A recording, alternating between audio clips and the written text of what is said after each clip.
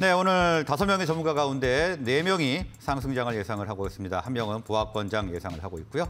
자, 먼저 카카오 페이증권의 윤정식 부장은 상승장 예상을 하면서 SK 하이닉스를 관심주로 꼽았습니다.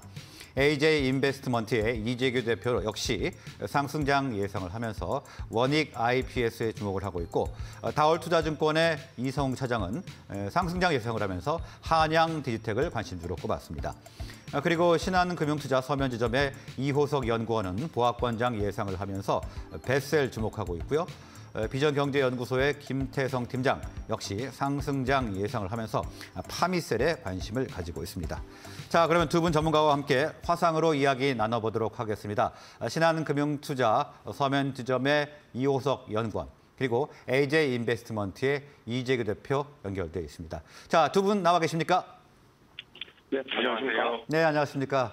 자, 먼저 이호석 연구원님. 자, 오늘 미국 증시는 좀 괜찮은 방향으로 나왔습니다. 우리 장, 어떻게 준비를 좀 하면 좋을까요? 네, 그렇습니다. 이제 미국 증시는 혼조세지만의 긍정적인 모습을 보여주었었고요. 그렇지만 국내는 약간 내용이 다를 부분이 있습니다.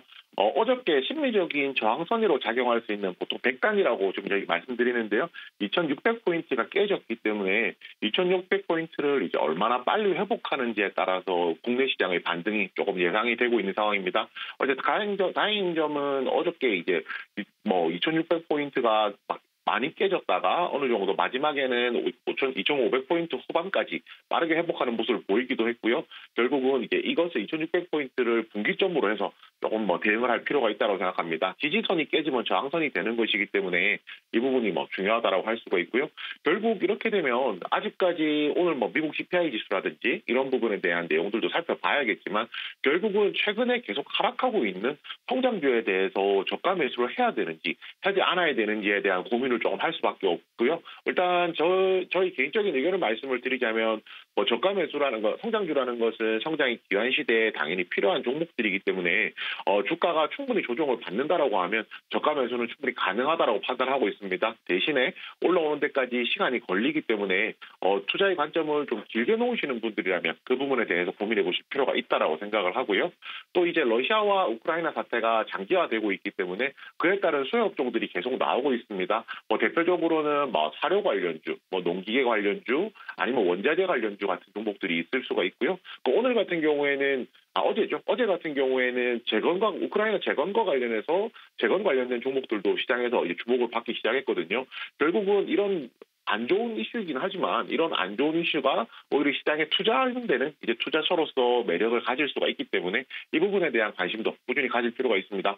어, 그리고 대통령 취임식이 어제 있었는데요. 어제 대통령이 취임하면서 인맥 관련주들이 좀 움직이기 시작했습니다. 변동성이 커지긴 했는데 아무래도 인맥 관련주는 이제 지금 뭐 좀 차치하는 것이 낫다라고 생각하고요. 오히려 정책을 위주로 좀 접근하되 인맥 관련주 변동성에 대해서는 좀 보수적인 접근이 필요하다는 점. 마지막으로 제가 아까 앞서서, 앞서서 말씀드렸던 거지만은 정책적인 뒷받침이 있는 내용들이 굉장히 좀 필요하다라고 생각하고요. 그런 관점에서 UAM 관련주를 오늘 좀 주목해 보셨으면 합니다. 네, 2,600선을 얼마나 빨리 회복하느냐가 반등의 관건이다 이렇게 말씀을 해주셨고요. 다음은 이재규 대표님. 자, 2,600선이 무너졌음에도 불구하고 많은 분들은 추가적인 하락은 제한적일 것이다 이런 분석이 좀 하고 있습니다. 어떻게 판단하고 계십니까? 네, 방금 말씀하신 것처럼 시장 자체가 어쨌든 기업의 가치가 반영되고 있는 상태이기 때문에 계속해서 주가가 하락할 수는 없다라고 보고 있습니다. 그래서 2,600포인트 밑으로 내려가면 심리적인 부담이 굉장히 크게 작용하겠지만 어, 투자하는 입장에서는 충분히 저가 매수의 메리트가 있다라고 보고 있습니다. 물론 테마성으로 움직이거나 뭐 실체가 없는 기업들 같은 경우는 주가가 많이 빠졌다라고 해서 무조건 접근할 수 있는 상황은 아니지만 분명히 내재 가치가 있고 기관들과 외국인들이 선호하는 기업들이 같은 경우는 어, 저평가라는 것이 분명히 있기 때문에 주가가 계속해서 내려온다라고 한다면 어, 분할 매수의 관점으로 접근할 필요가 있다라고 보여집니다. 근데 제가 이제 여기서 말씀드리고 싶은 부분은 실제 우리나라 시장이 작년부터 계속해서 하락을 겪고 왔고 뭐 짧게는 4월 달부터도 계속해서 밀리고 있는 상태이기 때문에 실제 투자자분들 같은 경우는 현금 여력이 많이 남아있지 않은 상태일 가능성이 높습니다. 그래서 여기서 주가가 밀리고 시장이 밀리게 되면 굉장히 큰 부담을 느끼게 될 가능성이 높은데 이런 시장일수록 지금 내가 현금이 많이 남아 있다면 어떻게 할 것인지에 대한 고민이 필요합니다. 그렇기 때문에 실제 지금부터 시장이 밀린다라고 하더라도 더 밀릴 수 있다라고 보지만 밀리더라도 이 자리는 매수의 관점으로 볼 필요가 있고 다만 이제 앞서 말씀드린 것처럼 문제는 이게 대부분의 투자자분들은 현금 여력이 거의 없는 상태일 거라는 거죠.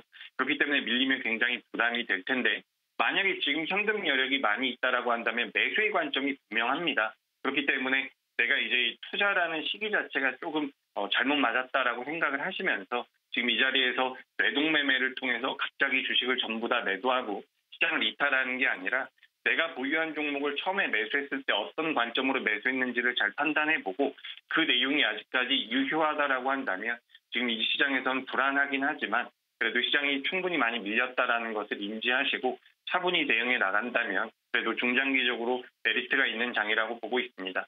전체적으로 시장 자체가 탄력적으로 반등을 하거나 올라갈 수 있는 상황은 아니지만 그래도 최저점은 아니더라도 저점 라인대라고 보고 있다라는 말씀을 다시 드리고 싶고 어찌됐건 간에 이 기업들이 수치에 수렴을 하기 때문에 하반기에 뭐 실적적인 부분이 개선이 된다든지 뭐 업황 개선이 예상되는 기업들 같은 경우는 지금 이제 분할 매수로 접근을 해 보시거나 어, 관심을 계속해서 가져보시면서 시장을 떠나지 않는 것이 중요하다라는 말씀을 드리고 싶습니다. 오늘 장중에 중국에서도 중요한 지표가 하나 나올 것이고 가장 중요한 것은 밤에 발표될 미국의 물가 지수인데 이제 이 부분들은 어떻게 보면 시장에 어, 긍정적인 영향을 줄 수가 있어요. 그리고 전체적인 시장 뷰 같은 경우도 러시아라든지 중국의 봉쇄라든지 미국의 금리 인상 같은 부분들이 계속해서 시장에 악영향을 미치고 있는데 충분히 영향을 많이 줬다라고 판단하고 있습니다.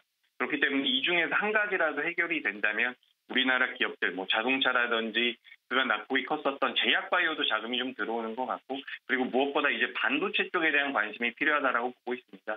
뭐 올해 이제 20일 날 뭐 바이든과 한미 정상회담이 있고 우리나라 새 정부에서도 이 반도체 수출 물량을 30% 이상 늘려보겠다라는 이런 뭐 정책적인 발표도 있는 상태이기 때문에 반도체에 대한 관심은 여전히 유효하다라고 말씀드리고 싶습니다. 그래서 저는 오늘 반도체에 대해서 시청자분들께서 좀 관심을 가졌으면 하네요. 네, 시장이 조금 더 하락할 수는 있겠지만 이럴 경우에 분할 매수 관점으로 접근하는 것이 유효해 보인다 이렇게 말씀을 해주셨습니다. 다음은 관심 정보 알아보겠습니다. 이호석 연구원님. 네, 우선 베셀입니다. 베셀은 이제 본업은 디스플레이 제조 디스플레이 제조 장비를 만들고 있고요. 중국의 BOE와 같은 메이저 디스플레이 업체들이 주요 고객사입니다. 그렇지만 아시다시피 코로나19 이후에 어, 아무래도 투자가 조금 줄어들게 돼 비축되면서 그런 부분들이 아쉬웠다라고 하면 이제는 이제 투자 재개를 통해서 매출이 정상화되는 시점에 들어섰다라고 판단을 하고 있고요. 사실 핵심은 이겁니다. 19년도에 항공사업부를 만들었고 이것을 분사를 해서 이제 베셀 에어로스페이스를 하는 기업을 만들었는데요. 이, 이 회사가 이제 자율비행 개인 항공기 개발 국책 사업을 참여를 하고 있는 상황입니다. 결국은 UAM이 상용화된다라고 하면 굉장히 수혜를 볼 수 있는 기업 중에 하나라고 판단하고 있거든요. 그래서 UAM 관련주로서 탑픽으로 이제 베셀 소개드립니다. 네, UAM 관련주 베셀 관심주로 분석을 해주셨고요. 다음은 이재기 대표님. 네, 저는 이 원익 IPS, IPS에 대해서 말씀드리고 싶습니다. 뭐 대표적인 장비주죠.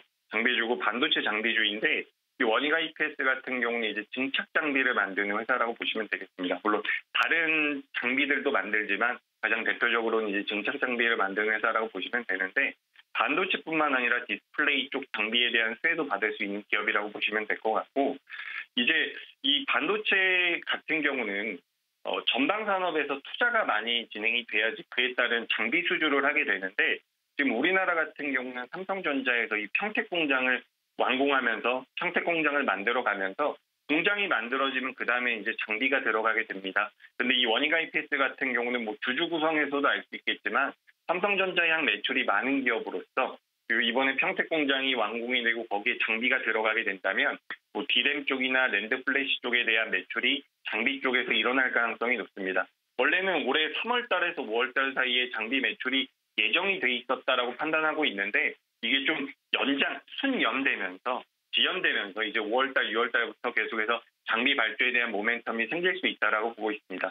반도체 업체들이 최근에 전체적으로 많이 약했지만 소재 관련주들보다는 장비 관련주들이 오히려 낙폭이 좀 더 컸다라고 보여지고 저점 매수의 관점에서 봤을 때는 이 원익 IPS라는 기업이 충분히 메리트가 있다라고 보고 있습니다. 그리고 지금 이제 이 반도체 업황에 대해서는 나아질 것이다, 바닥을 찍었다, 아니면 더 나빠질 것이다라는 내용들이 계속해서 뭐 음, 좋다, 나쁘다 계속해서 말, 말들이 많은데 실질적으로 IPS 같은 경우는 삼성전자가 어찌됐건 간에 투자를 하게 되죠.